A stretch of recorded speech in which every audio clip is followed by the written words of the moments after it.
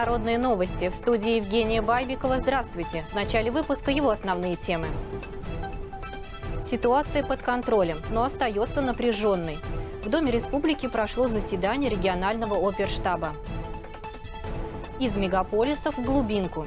Тенгушевская шокша словно магнитом манит к себе уставших от городской суеты. Медики, учителя и соцработники первые. В Мордовии продолжается вакцинация от COVID-19. Пять предновогодних подарков. Школьный автопарк Ковылкинского района пополнился благодаря нацпроекту образования.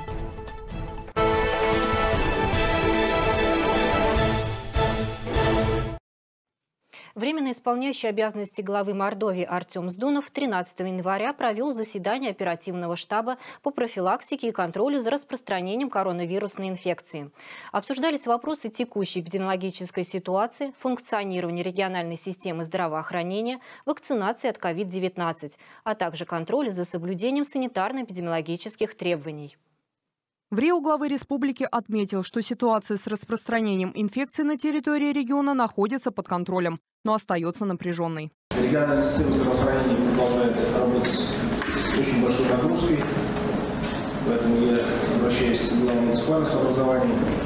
Нам очень важно не просто оказывать помощь, но и анализировать э, все то, что происходит. Круг заболеваний, насколько быстро и эффективно принимаются меры, насколько быстро выявляются факты, круг лиц, э, с кем общается. Все это помогает э, упростить работу дальнейшей системы здравоохранения. Руководитель республики особо отметил значимость следующих направлений. Свободный коечный фонд, лекарственное обеспечение, тестирование и начало массовой вакцинации от коронавируса. Зампред правительства республики Галина Латванова доложила о том, как прошли новогодние каникулы. Чрезвычайных происшествий на объектах здравоохранения и социальной сферы не зарегистрировано. При этом количество вызовов скорой медицинской помощи с 1 по 10 января по сравнению с аналогичным периодом прошлого года возросло на 3%. А вот количество травм сократилось на 37%. Однако травм со смертельным исходом стало больше. 53 человека, 13% э, получили травмы на улицах. Очень плохо, что э, среди 53 большая часть приходит на катание с горок, порой там, где не должно быть и город. Поэтому прошу глав района обратить особое внимание и провести ревизию всех мест катания детей с горок, которые соответствуют требованиям, и те, которые не соответствуют, их нужно закрывать.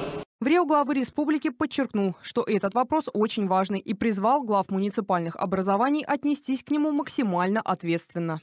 Эти места все прекрасно знают, э, поэтому определите у себя на месте, в районе, где риски есть, огородите, поговорите с людьми, волонтеры у вас есть. Не допускайте таких случаев.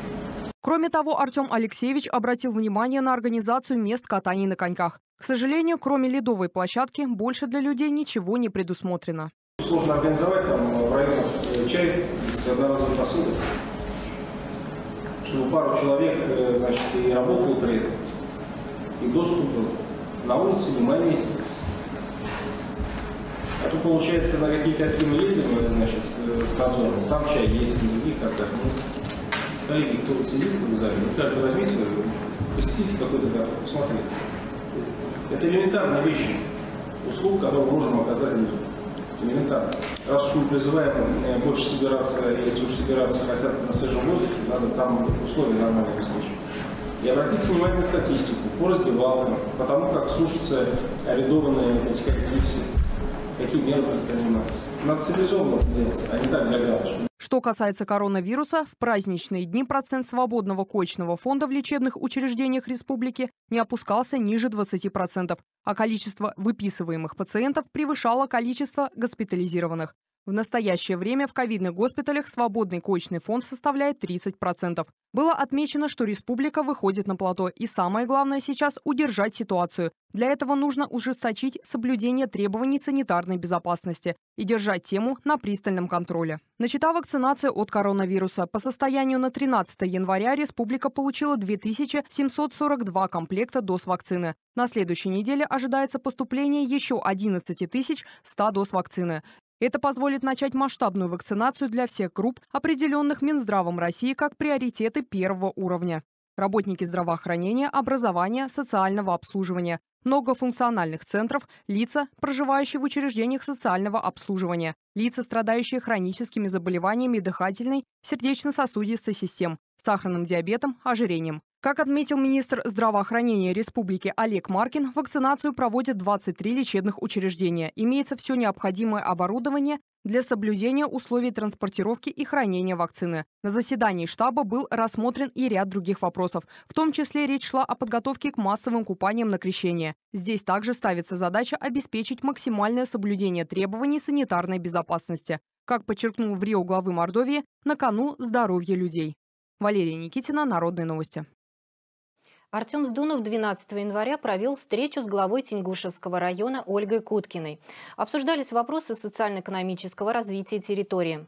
Во встрече также принял участие глава Шокшинского сельского поселения Тенгушевского района Павел Акишев. Открывая встречу, руководитель республики отметил, что Тенгушевский район является пограничной и стратегической территорией для республики. И очень важно оказать муниципалитету всю необходимую поддержку. Смотрели репортаж, очень интересный был. С удовольствием посмотрели, порадовались. Но хотелось бы сегодня так поподробнее, чтобы рассказали вообще, как идея пришла, как вы работаете, с какими сложностями сталкиваетесь, с чем мы можем помочь. Владимир, начнем с вас. Кратко. Я еще в районе не был. Да, я планирую съездить. Ну, район у нас не очень большой. Численность населения на 1 января 2021 года где-то где 1593, пока у нас не до 4 класса, точные цифры. 7 сельских поселений. Социальной сфере у нас представлено 6 школ, 2 юридических лица, 4 структурных подразделения, 4 детских сада. Артем Сдунов детально расспросил о потенциальных возможностях территории, о работе администрации района с инвесторами, о подготовке площадок под возможное производство. В том числе и руководитель республики остановился на совместном российско-венгерском проекте по строительству в районе крупного молочного комплекса на 3000 голов крупного рогатого скота. Из-за пандемии его реализация продвигается не так быстро, как планировалось. Артем Алексеевич дал поручение Минсельхозу республики взять вопрос на особый контроль. Были рассмотрены другие возможные для района производственные проекты. Временно исполняющий обязанности главы республики особо подчеркнул, что для Тенгушева не может быть важных и неважных направлений. Все, что связано с занятостью населения, следует изучить и притворить в жизнь. В первую очередь речь идет о развитии народных художественных промыслов. Тенгушевские умельцы занимаются изготовлением и росписью деревянных матрешек, свою продукцию отправляют в Москву, но из-за пандемии, как посетовала Ольга Куткина, спрос на нее упал. Руководитель республики отметил, что необходимо выходить на торговые интернет-площадки, которые стремительно набирают популярность. Это реальная возможность для народных умельцев иметь стабильный доход и развивать свое ремесло. По у меня будет просьба связаться с Кадыровой,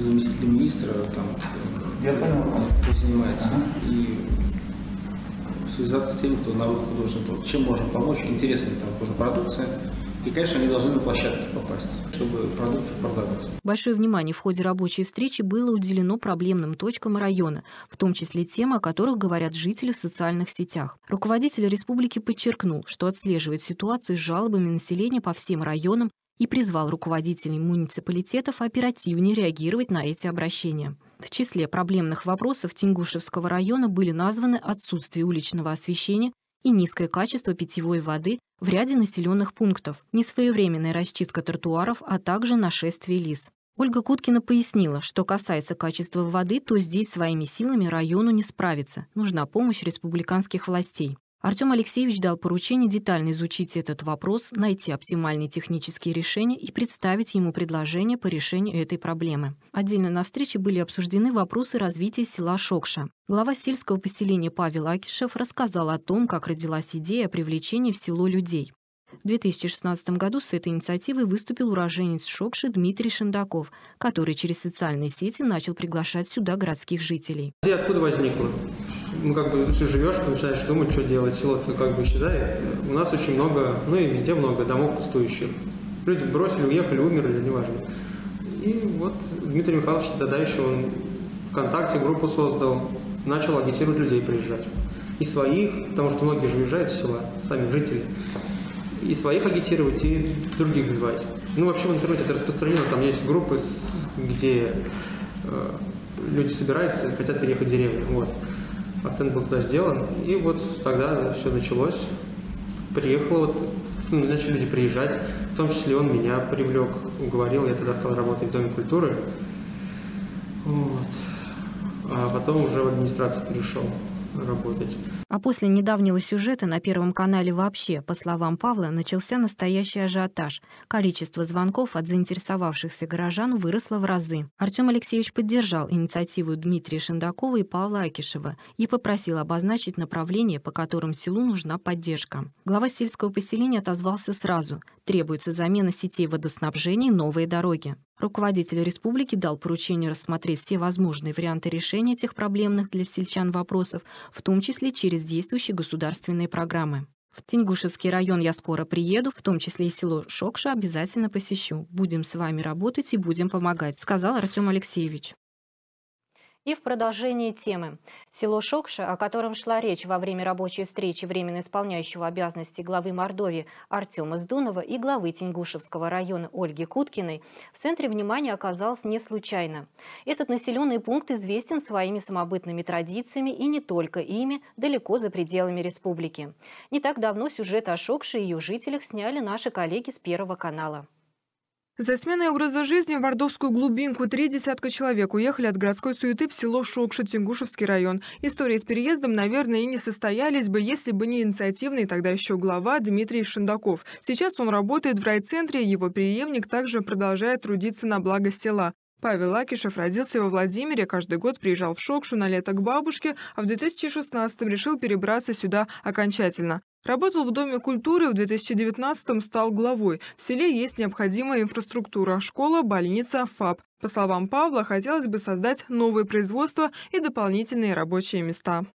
Если удастся привлечь инвестора какого-то, построить здесь что-то, какой-то тепличный комплекс, допустим, люди могли бы, молодежь бы не уезжала из села, а могла остаться работать. В социальных сетях группа «Шок Шовели» живет полной жизнью. Судя по записям, скучать в селе не приходится. Недавно стартовали хоккейные турниры, а вот праздник в честь буквы «Ё». Торжества и фестивали сельчане устраивают себе сами, а еще своими руками благоустраивают село и возвращают к жизни уникальный храм. В Шокше свой дом культуры, где чтут и хранят традиции предков.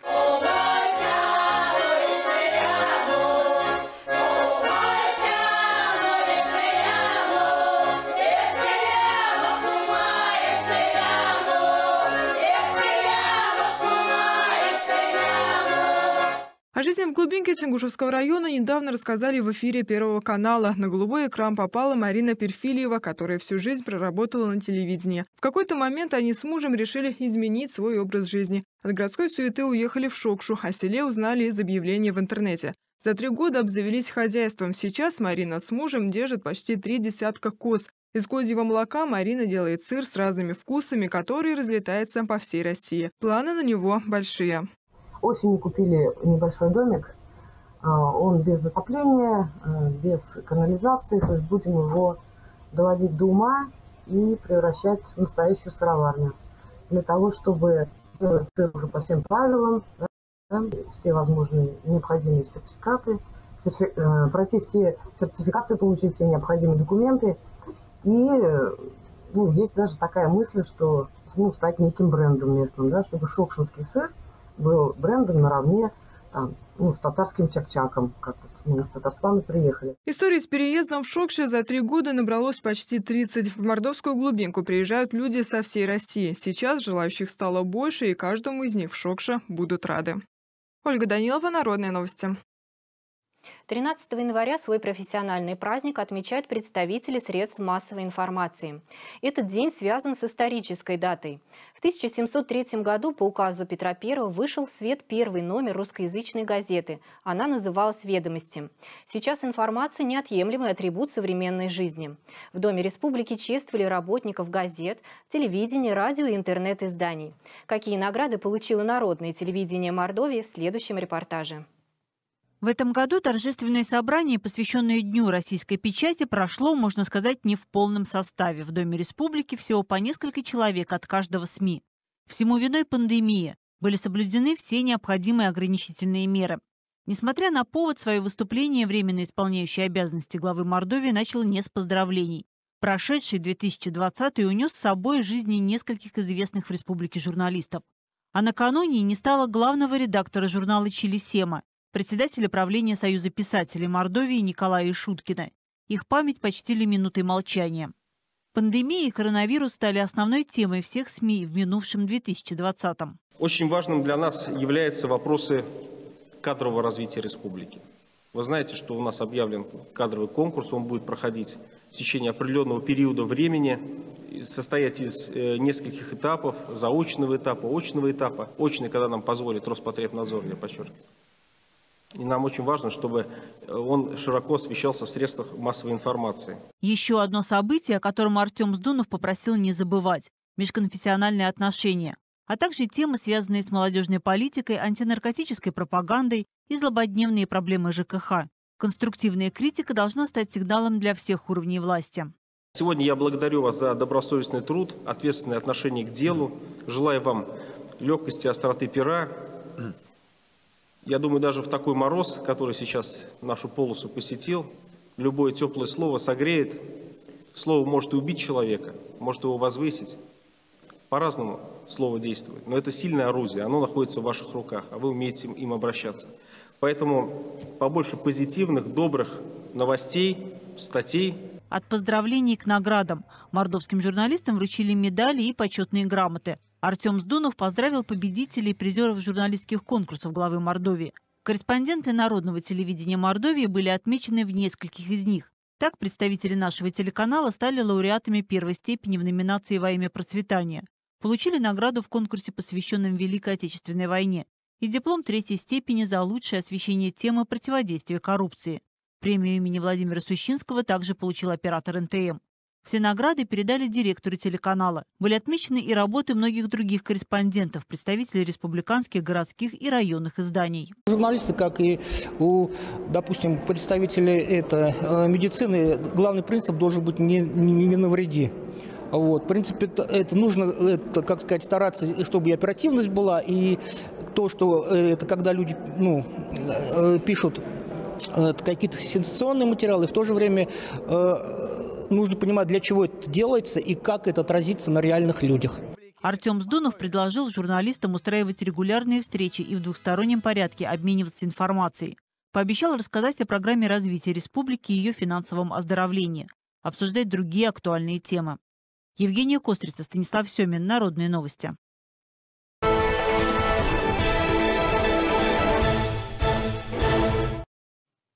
Сформировать иммунитет – важнейшая задача. В Мордовии врачи, учителя, соцработники и не только они продолжают прививаться от коронавируса. Как проходит процесс в поликлинике Республиканской больницы имени Каткова, расскажут Валерия Новикова и Денис Ноздрюхин. Медики, учителя и соцработники на вакцинацию первыми. Это необходимость, ведь они в группе особого риска. Во вторую очередь прививают представителей серебряного поколения и пациентов с хроническими заболеваниями. Для них коронавирус также особенно опасен. И важно вовремя сформировать иммунитет. Прививка – самый надежный способ. Всего инъекций будет две. Вакцинация проходит препаратом ГАМ-ковид-ВАК. Это комбинированный векторный препарат для профилактики коронавирусной инфекции, вызванной вирусом SARS-CoV-2. Э, вакцинация проходит в два этапа, а, то есть вводятся два компонента. Первый компонент и второй компонент через 21 день. Перед введением вакцины обязательное обследование, подписание добровольного согласия и заполнение анкеты. Только после этого приглашают в процедурный кабинет. Каждому на руки лист с перечнем возможных реакций и датой второго этапа вакцинации. Стоит отметить, что существуют противопоказания к прививке, о которых необходимо знать. Противопоказанием к вакцинации является только аллергические реакции в анамнезе, гиперчувствительность к какому-то из компонентов вакцины, а, беременность и грудное вскармливание, и лица старше 18 лет, и обострение хронических заболеваний, либо острые и инфекционные, неинфекционные заболевания. На данный момент в поликлинику больницы имени Каткова поступило 245 доз вакцины. В ближайшее время ожидается еще одна партия. Вакцина хранится в специальных контейнерах с морозильной камерой. Температура в них обязательно должна быть ниже минус 18 градусов. Один флакон рассчитан на 5 пациентов и достается за полчаса до вакцинации. Поэтому существует определенное планирование. Каждый приходит строго к своему времени. Еще одно условие – добровольное согласие. Желающих укрепить иммунитет хватает. Сразу хочу отметить, что никакого принуждения никогда не было и никогда не будет. Дело абсолютно добровольное. Выбор стоит за каждым человеком. Но наш актив пациентов, э, которые всегда с нами на связи, сделали уже свой правильный выбор. И сегодняшний транш, который мы получили, мы практически весь э, уже отработали. И э, у нас есть дальше список пациентов, которые хотят, ждут и ждут следующего поступления вакцины, которая ожидается на следующий следующей неделе. Главная цель вакцинации – защитить от ковида как можно больше жителей Саранска и Мордовии. Процесс идет и только набирает обороты. Как отмечают медики, особенно ответственно к своему здоровью относятся люди старшего возраста. Валерия Новикова, Денис Ноздрюхин. Народные новости. Среда 13 января для большинства школьников Мордовии стала внеплановым выходным. Причина тому – мороз. Температура воздуха в этот день где-то приближалась к отметке минус 30 по Цельсию, а где-то опускалась еще ниже. Школьникам Мордовии пришлось вновь вспомнить о дистанционке. Мороз заставил остаться дома ребят из Большеберезняковского, Атяшевского, Чамзинского, Большеигнатовского, Дубенского, Ордатовского и Чалковского районов. Там уроки отменились для всех, включая старшеклассников. В Саранске из-за сильного холода в школу не пошли учащиеся с первых по девятые классы.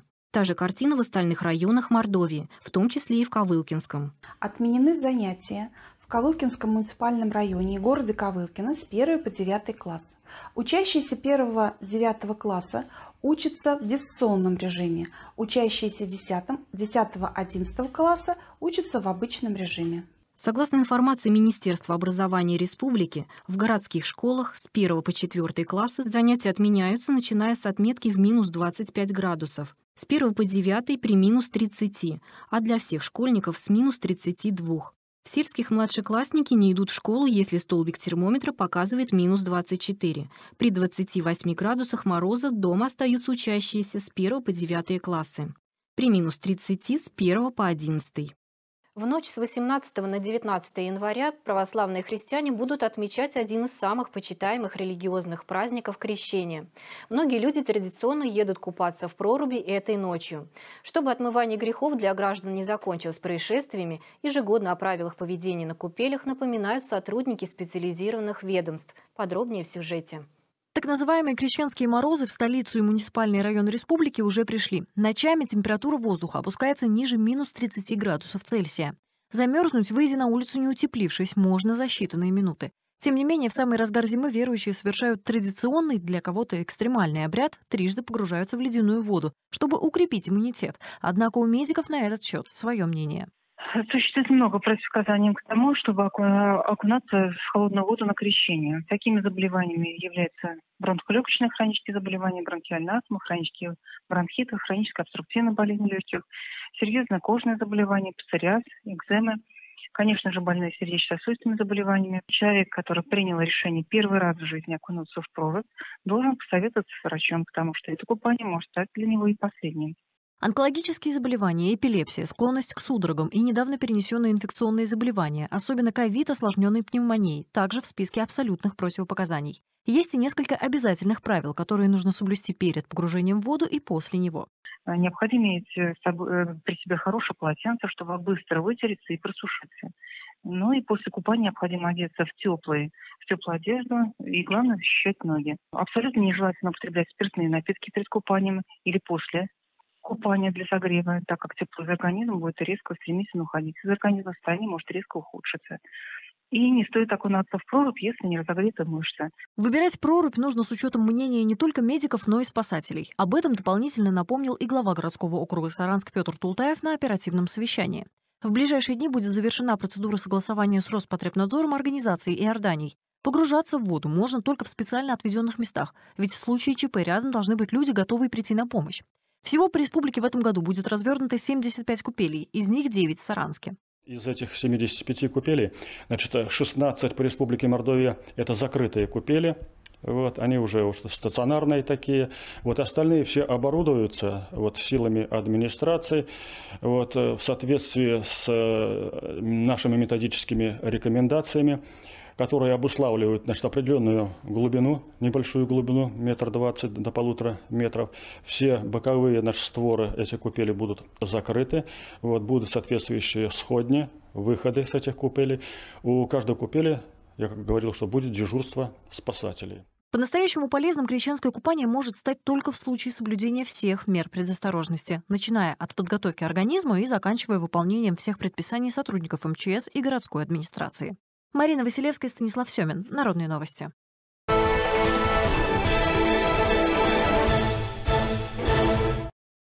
Новая традиция вместо старой. Альтернативу кострам предложили активисты движения «Эко». В Старый Новый год они организовали акцию «Эко-двор», во время которой принимали елки, старые вещи, макулатуру и батарейки. У резиденции Деда Мороза возле Мордовии-арены в Старый Новый год не дарят, а принимают в дар. Пусть старые вещи желанным подарком назвать сложно, но вот природа за такую акцию точно скажет спасибо. Вместо свалки одежду, бумагу и батарейки отправят на переработку. Принимают волонтеры и новогодние деревья. Они тоже еще могут послужить. Акция называется «Кодвор». Это а, полюбившаяся акция наших жителей, которая проходит весной и осенью во дворах, но в связи с пандемией она немного поменяла формат и работает в рамках пункта приема вещей. А сегодня также после праздников принимаются и а, зеленые елки, которые будут направлены в зоопарк, а, но только зеленые хвои, которые потом будут питаться животные. Несмотря на мороз, за три часа к акции присоединились несколько десятков человек. Надежда Стенькина про экодвор узнала в социальных сетях и тоже решила присоединиться. Девушка привыкла развивать эко-привычки, например, складывать использованные батарейки отдельно. Я решила поучаствовать, потому что мне не безразлично состояние окружающей среды. Для меня всегда это имело большую важность. И поэтому у меня а, лежали материнские платы, а, батарейки, которые я хранила, и чтобы при удобном случае их сдать. Просто я не знала, куда сдавать, и вот я увидела рекламу ВКонтакте и решила все собрать, в том числе и у родителей использованные батарейки. Участникам акции волонтеры дарили сертификат на посещение фитнес-центра. Кроме пункта приема вещей, активисты движения «Эко» организовали книгообмен. Каждый мог забрать любое издание или вещь совершенно бесплатно или оставив что-то взамен. Участие в акции не просто возможность избавиться от надоевшего или ненужного, но и полезная традиция на Старый Новый год. Для экологии такой вариант событий гораздо лучше костров. Ольга Данилова, Владимир Надькин. Народные новости. Предновогодние подарки нашли применение в новом 2021 году. В преддверии праздника школьный автопарк разных районов Мордовии пополнился новой техникой. Ключи от автобусов 29 декабря вручил временно исполняющий обязанности главы Мордовии Артем Сдунов. В Ковылкино автопарк пополнился на 5 единиц техники. Ковылкинском районе действуют 22 школьных маршрута. Специальные автобусы ежедневно подвозят на занятия и забирают домой 275 маленьких пассажиров. Кроме того, дети выезжают и на соревнования и экскурсии. К безопасности таких перевозок относятся с особой ответственностью. Ведь здоровьем школьников рисковать нельзя. Накануне Нового года автопарк обновили. Скоро эти автобусы и микроавтобусы отправятся в первые рейсы. В этом году Калугинский муниципальный район получил 4 новых автобуса взамен старых и одну школьную «Газель» для организации нового школьного маршрута. Школьные автобусы в районе необходимы, ведь на занятия в учебные заведения Ковылкина собирают ребят из разных сел и деревень. В средней школе номер 4 районного центра предновогоднему подарку особенно обрадовались. Школьный транспорт здесь подвозит 62 учеников из шести разных населенных пунктов, и раньше не всех удавалось отвезти одним рейсом. Направлении Русская Лашма Гумны мы вынуждены делать два рейса до начала занятий и два рейса по их окончанию. И в связи с этим часть детей, которые приезжают в школу первым рейсом, прибывают э, в школу задолго до начала занятий. Теперь мы можем подвозить всех учащихся непосредственно к началу занятий одним рейсом. Всего 29 декабря временно исполняющий обязанности главы республики Артем Сдунов вручил директорам школ всех районов Мордовии 70 комплектов ключей. Новые автобусы при приобрели в рамках национального проекта «Образование». Ирина Семенова, Максим Ковылкин. Народные новости. Внимание, фальшивка. Сотрудники полиции провели профилактическое мероприятие в одном из торговых центров Саранска. Они напомнили продавцам, как отличить подделку от настоящей купюры.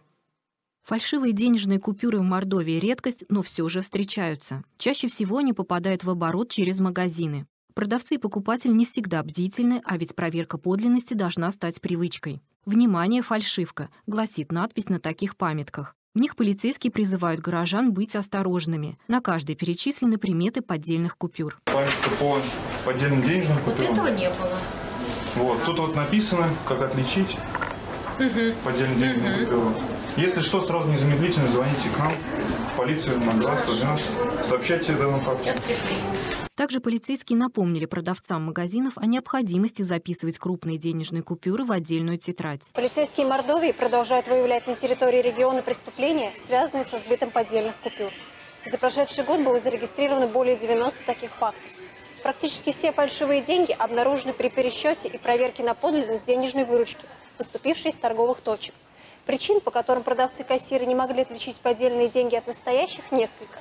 Но основные – это незнание отличительных признаков или формальное отношение к проверке денежных знаков на подлинность. Продавцы, в свою очередь, пообещали полицейским быть более осторожными и внимательнее проверять наличность, поступающую от покупателей. На этом у меня все. Далее вас ждет прогноз погоды. В студии была Евгения Байбикова. Оставайтесь на нашем канале и до встречи.